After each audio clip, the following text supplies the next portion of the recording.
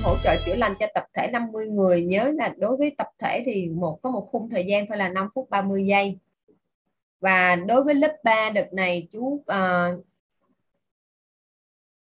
dặn lại là cái uh, số lượng người á, là 50 người cho một lần mình chữa lành tập thể nha. Trường hợp à, mình thực hiện một lần một ngày còn trường hợp nặng thì cũng hai lần một ngày quá nặng thì ba lần một ngày trong thời gian đầu cũng tương tự như là chữa lành cho một người đó nhớ dùm thùy trang là các lần chữa lành cần cách nhau 6 đến 8 tiếng. Và phần lưu ý trước ạ à, người truyền người truyền á, họ muốn truyền cho tập thể thì bản thân họ phải tập kích thích tế bào gốc thấy ấm áp liên tục trong 5 phút 30 giây ít nhất là trong 3 ngày liên tiếp.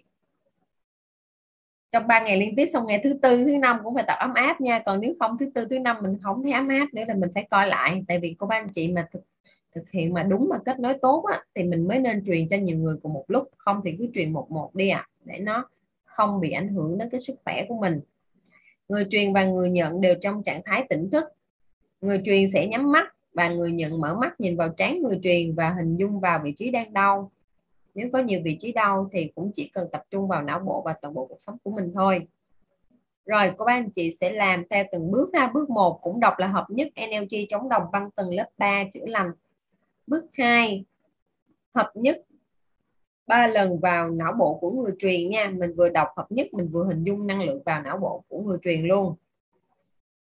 Bước 3 hợp nhất, hình dung năng lượng từ não bộ của người truyền đi thẳng vào não bộ và toàn bộ cuộc sống của tập thể người nhận. Ví dụ có một tập thể người nhận, nếu họ ở chung một phòng thì mình cũng hình dung như vậy. Còn ở nhiều nơi khác nhau. Ví dụ như là chúng ta truyền qua zoom hoặc là zalo chẳng hạn thì chúng ta cũng khi mà gửi ví dụ mình biết là à, hôm nay mình sẽ hỗ trợ là 50 người chẳng hạn bắt đầu trong đầu mình sẽ hình dung là năng lượng từ não bộ của mình vào não bộ và toàn bộ cuộc sống của 50 người này Bước 4 là tiếp tục truyền tải năng lượng vào toàn bộ khu vực chữa lành tập thể cho đến khi chuông báo chấm dứt. Và khi chuông báo chấm dứt xong, cô bác anh chị cũng đọc cái câu cầu nguyện cho tất cả các linh hồn hiện diện trong toàn bộ khu vực nương theo energy chống đồng băng tầng lớp 3 trở về phố sáng. Đọc một lần thôi ạ. À. Hỗ trợ chữa lành tập thể 50 người.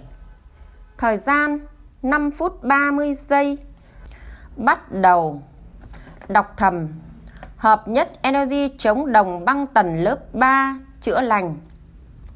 Hình dung năng lượng từ không gian đi thẳng vào não bộ của người truyền. Hợp nhất lần 1. Hợp nhất lần 2. Hợp nhất lần 3. Tương tự lần 1 và lần 2 Hình dung năng lượng từ não bộ của người truyền đi thẳng vào não bộ và toàn bộ cột sống của tập thể người nhận. Hợp nhất lần 1 Hợp nhất lần 2 Hợp nhất lần 3 Tiếp tục truyền tải năng lượng vào toàn bộ khu vực chữa lành tập thể cho đến khi hết giờ.